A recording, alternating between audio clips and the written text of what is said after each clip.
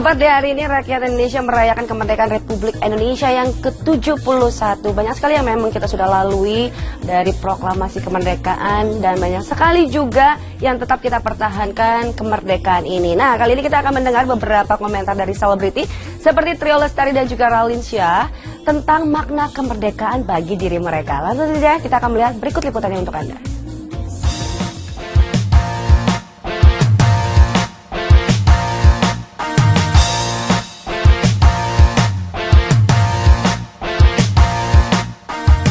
Hari ini Rabu 17 Agustus, bangsa Indonesia merayakan hari kemerdekaannya yang ke-71 tahun. Selama lebih dari tujuh dekade merdeka, masyarakat termasuk kalangan selebriti tentu memiliki makna serta arti masing-masing terhadap hari kemerdekaan itu sendiri. Lantas bagaimana dengan Ralinsyah, Glenn Fredly, Tompi dan Sandi Sandoro yang tergabung dalam Trio Lestari, memaknai dan memberi arti seputar hari kemerdekaan Indonesia pada tahun ini. Nah, 17-an adalah libur, makan yang banyak, dan pastinya uh, tetap berbakti pada bangsa negara. Saya aktor, jadi pastinya saya akan coba menjadi aktor yang lebih baik lagi. Ya, hari kemerdekaan sih yang seharusnya uh, sejak dulu, sejak awal kita merdeka sampai sekarang, uh, benar-benar bisa menghadirkan apa itu kemerdekaan.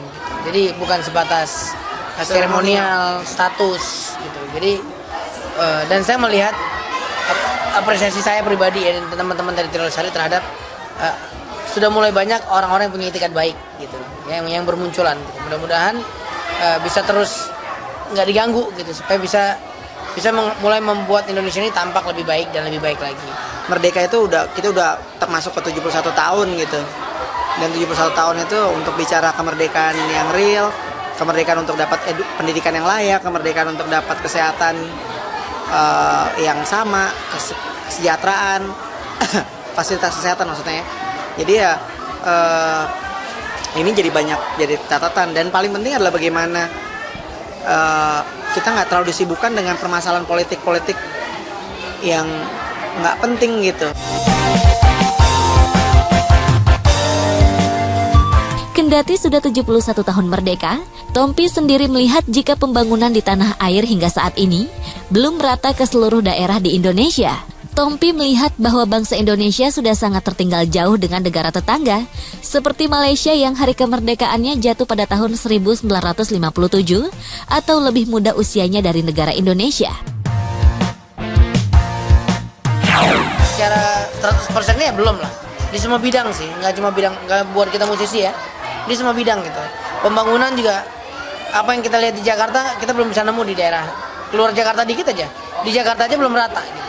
apalagi kalau kita ngomong udah nyampe ke Aceh nyampe ke Indonesia daerah timur gitu jauh gitu. Masih kita kebetulan musisi sering traveling ke mana-mana sering ngeliat gitu.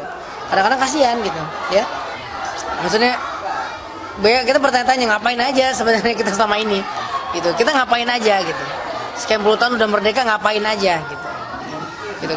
Sama negara-negara tetangga yang tadinya ketinggalan sama kita ya gimana dulu Malaysia ngirim uh, studentnya ke sini buat belajar gitu. Kita yang menjadi guru buat mereka. Sekarang kita ketinggalan jauh sama mereka uh, hanya dalam rentang waktu berapa berapa tahun bisa dikejar dan sekarang ngelit.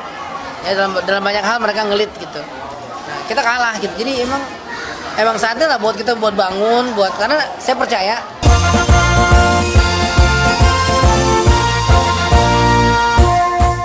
Setiap datang hari kemerdekaan Indonesia, baik Sandi, Tompi maupun Glenn, kerap teringat dengan masa kecil mereka yang suka mengikuti perlombaan. Lalu perlombaan apa saja yang pernah mereka ikuti di masa kecil? Oh di masa kecil yang saya ingat sih saya sering ikut karnaval ya. Nice. Dari pakai baju badut ya? Iya, itu tahu. Ya, pasti udah nggak pakai topeng dong. Karena udah bener dengan palsuan. Kalau gue itu panjat pinang. Serius? Gila, panjat pinang balap karung. Iya, gue paling atas, paling kecil kan kurus, paling kurus kan, jadi gampang diangkat kan. Nah itu cepet, cepet, cepet gitu. Gue tuh apa? Apa? Gue tuh juara lari botol. Lari pakai botol, tau Botol terus ini. Jadi kalau udah 17 Agustus gue keliling tuh dari kampung ke kampung buat ikut begituan. Pulang pokoknya begitu pengumuman gue paling banyak bawa pulang buku. Yang juara buku dulu, buku, odol, uh, apalagi sikat gigi gitu-gitu hadiahnya.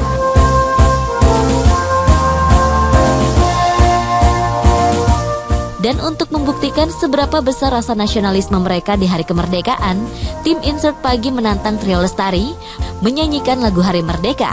Apakah Sandi, Tompi, dan Glenn mampu menyanyikan lagu ciptaan Ahamu Tahar tersebut? Agustus tahun 45 Itulah hari kemerdekaan kita Hari merdeka, nusa dan bangsa Hari lahirnya bangsa Indonesia Merdeka!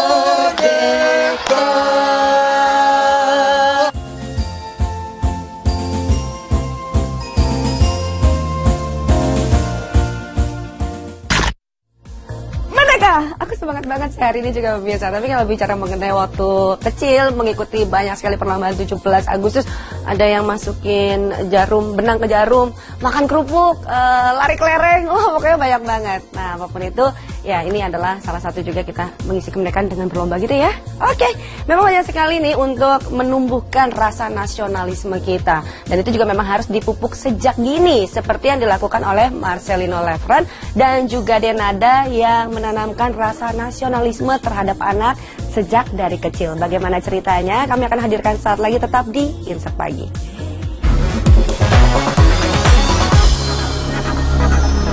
Denada, apakah akan mengenalkan budayanya, terus juga eh, memberitahu apa sih arti perjuangan yang selama ini dilakukan oleh para para pahlawan kita dulu.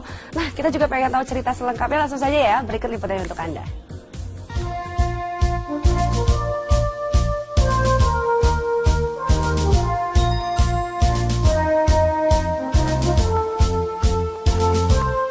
Dalam rangka memperingati Hari Kemerdekaan Indonesia, tak sedikit para selebritis yang memanfaatkan momen ini untuk menanamkan rasa rasionalismenya kepada buah hati mereka, seperti halnya dua artis kita, Marcelino Lefran dan Denada, yang mulai antusias memperkenalkan nilai-nilai nasionalisme lewat berbagai macam budaya dan mengajak anak ke acara kemerdekaan. Oh, menyumbangkan, sumbangsi. Sumbangsi sih sebenarnya nggak nggak dihitung-hitung juga ya. Tapi em, saya maksudnya bersyukur menjadi orang Indonesia, lahir di Indonesia, dan kemudian juga apa namanya, dulu juga masa muda saya juga aktif banget di masa sekolah saya dulu. Saya aktif di Paskibraka juga, ya di SMA juga dan kemudian ya tentang pramuka, tentang sempat juga menjabat ketua OSIS juga dulu SMA. Jadi maksudnya eh, nilai-nilai itu tidak hilang. Itu justru malah menempel dalam diri saya dan nilai-nilai nasionalisme itulah yang saya bangga. Itu yang saya coba wariskan kepada pertama kepada anak-anak saya dengan mem- memberikan mereka apa namanya eh, pengetahuan-pengetahuan tentang negara ini gitu. Bagaimana untuk memba- membangun eh, mentalitas yang mencintai eh, negara kita ini. Kalau merayakan dengan event sebesar ini udah lama banget nggak gitu. Dan yang tahun ini menjadi menarik sekali karena tempatnya yang biasanya kalau dulu itu keriaannya itu berpusatnya antara di Monas kalau nggak di Ancol baru kali ini ikut yang di Senayan gitu. Jadi eh, pengen banget eh, pengen banget ngelihat Panjat Pinang yang memecahkan rekor juga 345 gitu. Aku malah udah nyiapin Shakira kepengen aku pakein kepengennya sih aku lagi siapin pengen pakai baju daerah datangnya gitu. Jadi dia bisa bisa ikutan ikutan inilah ikutan dengan perayaannya gitu. Excited banget lah pasti karena kan ini kan pestanya seluruh rakyat Indonesia gitu loh. Jadi eh, apa namanya malah udah nyiapin pengen bawa Shakira juga untuk nanti bisa ikutan lihat nonton datang. Sebagai salah satu bentuk memperkenalkan rasa nasionalisme kepada anak, rupanya beberapa waktu lalu mantan suami Dewi Rezer ini mengaku bila belakangan ini Brinet sudah mulai belajar menghafal lagu-lagu wajib nasional. Dan sebagai ayah, Marcel juga mengajarkan anak belajar Pancasila sebagai salah satu wujud kebanggaannya kepada tanah air. Kerasa lagi. Kerasa kenapa? Karena anak saya si Brinet kan baru pindah di sekolah lokal ya. Tadinya kan dia di international school. Akhirnya saya pindahkan ke sekolah Indonesia dan sekarang dia lagi belajar lagu Indonesia Raya.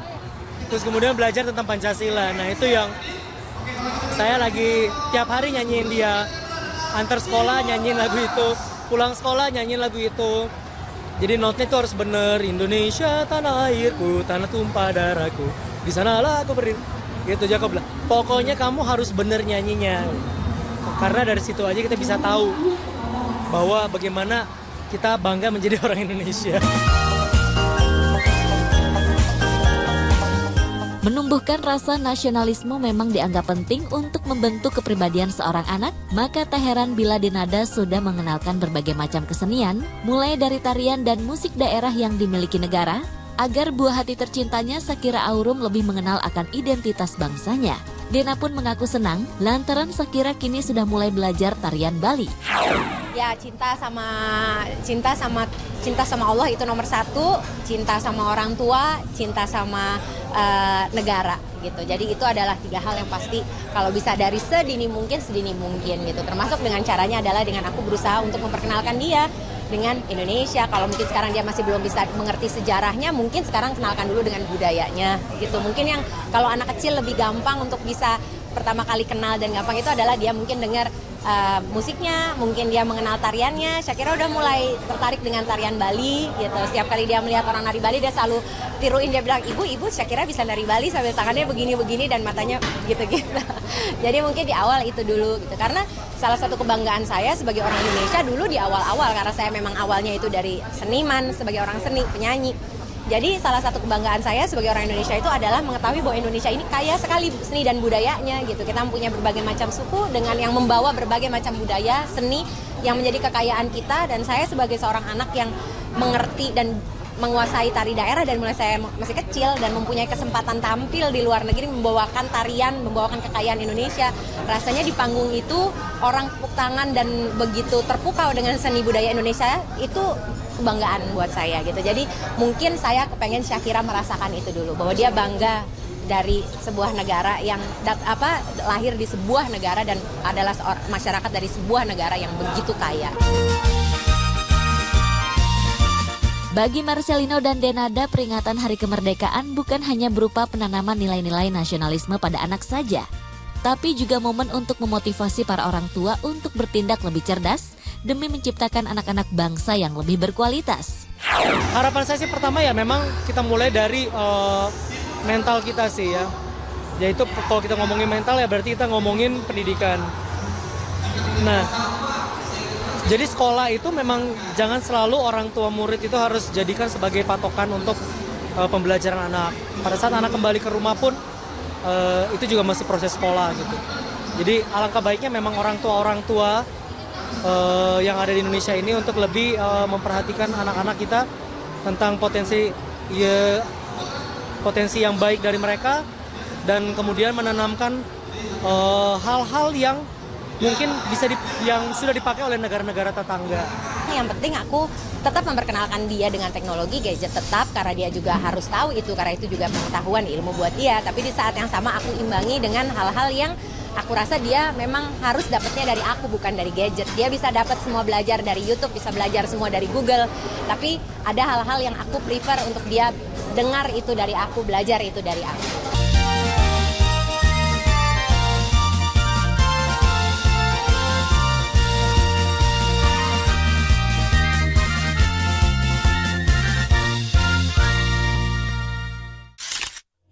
Ya itulah kisah dari Marcelino Lefran dan juga Denanda yang menanamkan rasa nasionalisme. Kalau Marcelino tadi bilang uh, pembentukan mental dari awal ini yang paling penting sebagai generasi penerus bangsa. Denanda juga mengajarkan budaya-budaya Indonesia. Mungkin memang banyak sekali cara, salah satunya nih kalau mau eh, anak-anak uh, gitu ya memperkenalkan uh, rasa nasionalisme juga menanamkan gitu ya.